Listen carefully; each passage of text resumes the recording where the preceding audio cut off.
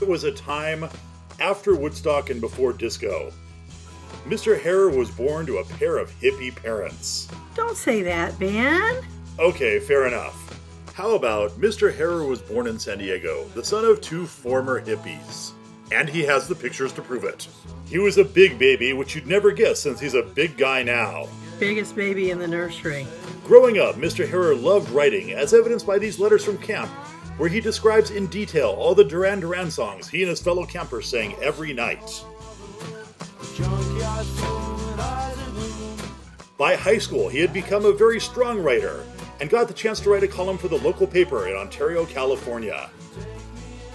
Not long after graduation, Mr. Harrer began working for the Press Enterprise newspaper in Riverside. He started out doing the weather page, writing obituaries, and taking phone calls from the public about stuff like UFO sightings, but moved to the sports department after a couple of years. He wrote about basically every sport in the world, including the world's strongest dwarf. He spent his college summers driving around America, either alone or with friends.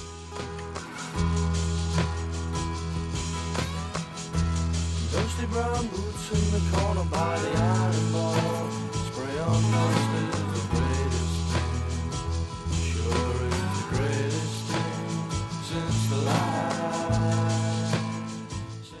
Eventually, it was time to graduate from college with his degree in English literature.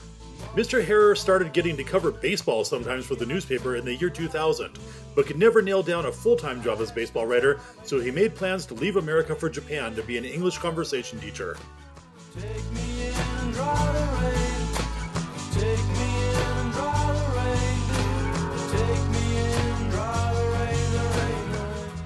Mr. Harrer spent the better part of the decade after returning from Japan traveling around the world.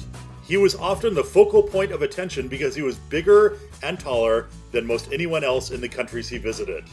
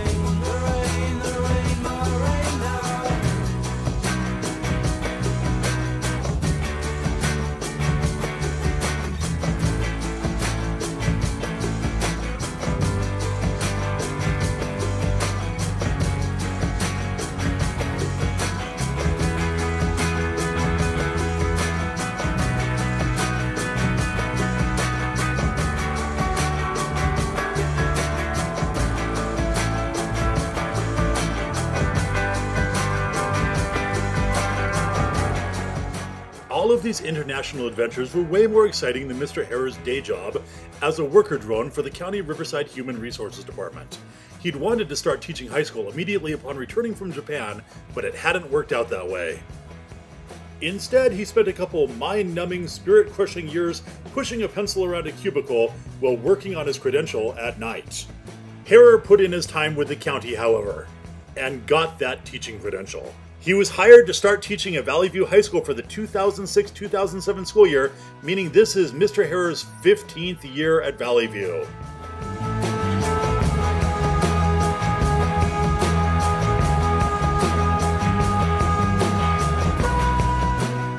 In 2012, Mr. Harrer met the love of his life, Marlene.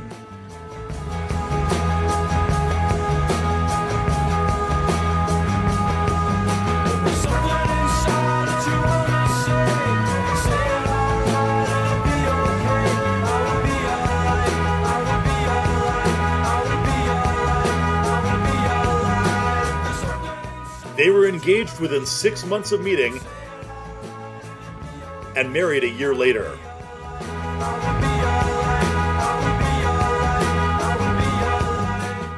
Now Mr. Harrer had someone to go on his worldwide journeys with.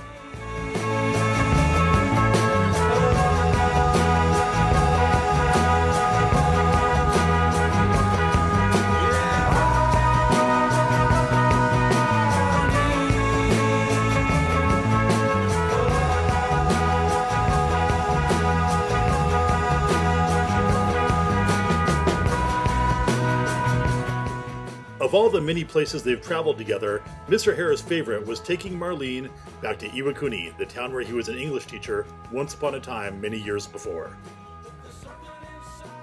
Mr. and Mrs. Harrer expanded their family in 2018 with the adoption of Olivia.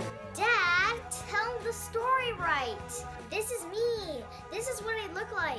Mr. and Mrs. Harrer are now a happy family. They plan on going on many great international adventures once the coronavirus ends. In the meantime, they're having lots of fun at their house in Riverside. Well, Olivia's probably not having so much fun because with two teachers as parents, she's always having to learn something. So that's the story of Mr. Harrer, your teacher for this year. One of these days, hopefully he'll get to meet you in person.